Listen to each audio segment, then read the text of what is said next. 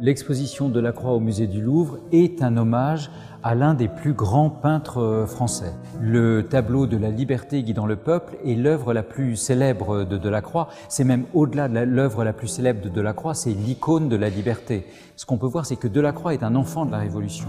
Donc pour Delacroix, la liberté est euh, un concept euh, essentiel et constitutif et on a cette liberté représentée ici par une femme qui, euh, qui est suivi par des hommes et qui arrive sur le spectateur. Donc en fait, ce que nous dit Delacroix, c'est que la marche de la liberté est inéluctable.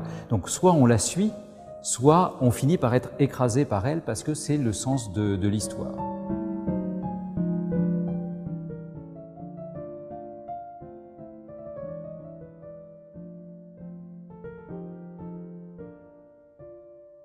On le sait mal, mais Delacroix a été un exceptionnel peintre religieux.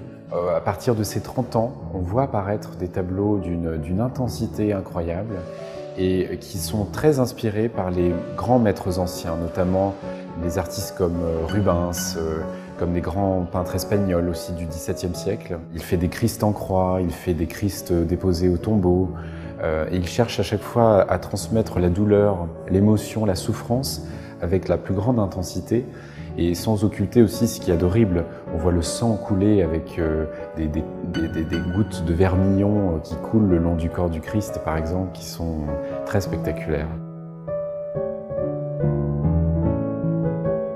Le romantisme de Delacroix, ce sont des sujets qui emportent, des sujets nouveaux, des sujets parfois violents, mais des sujets qui mettent en œuvre les passions euh, humaines avec une, ardeur.